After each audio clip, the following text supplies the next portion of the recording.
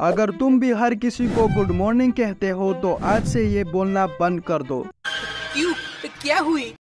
क्योंकि इस वीडियो में मैं तुम्हें 10 ऐसे नए तरीके बताऊँगा जिससे तुम अलग तरीके से गुड मॉर्निंग कह सकोगे। और ये तो कुछ भी नहीं है जब तुम गुड नाइट के 10 नए तरीके जानोगे। और हाँ इस वीडियो के एंड में मैं तुम्हें ये भी बताऊँगा कि मैंने इंग्लिश कैसे सीखा। तो आज की वीडियो काफ़ी नॉलेजेबल होने वाली है। अगर तुम इस वीडियो का एक भी पार्ट गलती से भी मिस कर देते हो तो तुम्हारे लिए इंग्लिश सीखना काफ़ी मुश्किल हो जाएगा। इसलिए इस वीडियो को एंड तक ज़रूर देखना। सो लेट्स बिगिन सबसे पहले ये जानते हैं कि गुड मॉर्निंग का मीनिंग क्या होता है।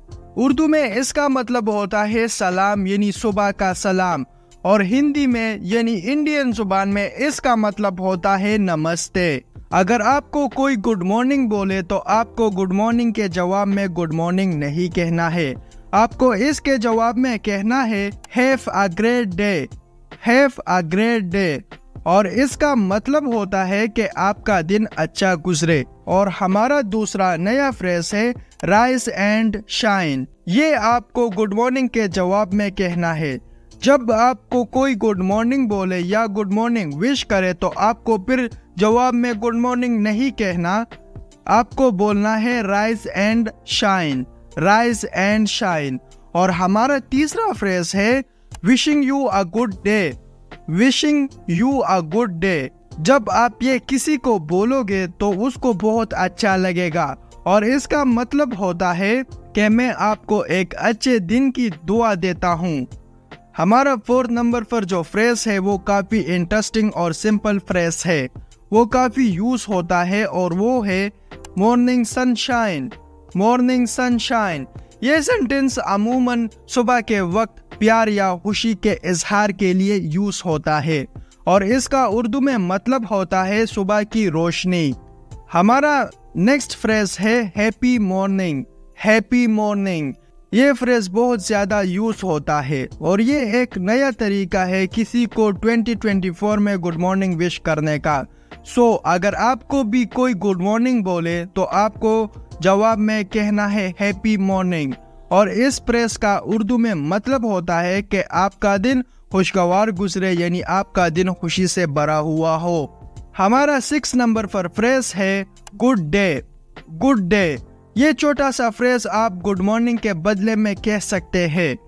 और सेवन नंबर पर जो फ्रेज है, वो काफ़ी इंटरेस्टिंग है, और वो है fresh start today fresh start today ये एक एडवांस लेवल का फ्रेज है। जब ये फ्रेज आप किसी को बोलोगे तो वो काफ़ी आपसे इम्प्रेस हो सकता है।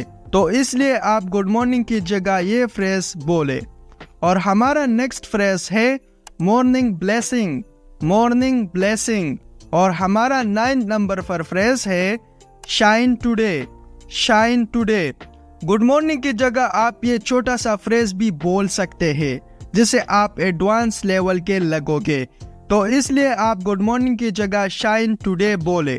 और हमारा फाइनल और आखिरी फ्रेज है गुड मॉर्निंग का, वो है मॉर्निंग जॉय मॉर्निंग जॉय और इसका मतलब होता है कि मॉर्निंग को एंजॉय करे, यानी मॉर्निंग का मज़ा ले। इसके अलावा अगर आपको गुड नाइट बोलने के नए तरीके नहीं आते तो फिर शाम को तुम वो बोरिंग गुड नाइट बोलोगे, जिससे तुम भी बोरिंग लगोगे। तो चलो मैं आपको गुड नाइट कहने के कुछ नए तरीके सिखाता हूँ। तो हमारा पहला फ्रेज है, स्लीप टाइट स्लीप टाइट। तो ये एक नया तरीका है गुड नाइट कहने का। अगर आपको कोई गुड नाइट बोले तो आपको रिप्लाई में गुड नाइट नहीं कहना। आपको बोलना है, स्लीप टाइट स्लीप टाइट। और हमारा अगला जुमला है, स्वीट ड्रीम्स स्वीट ड्रीम्स।